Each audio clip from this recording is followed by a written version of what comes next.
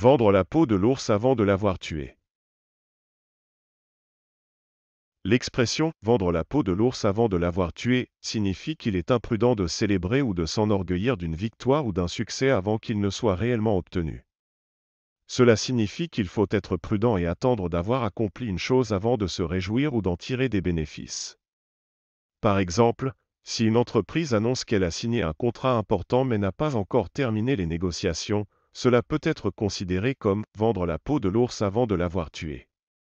De même, si un sportif affirme qu'il va remporter une compétition avant même d'avoir commencé les épreuves, cela peut être considéré comme une exagération prématurée, car il doit toujours faire l'effort pour gagner.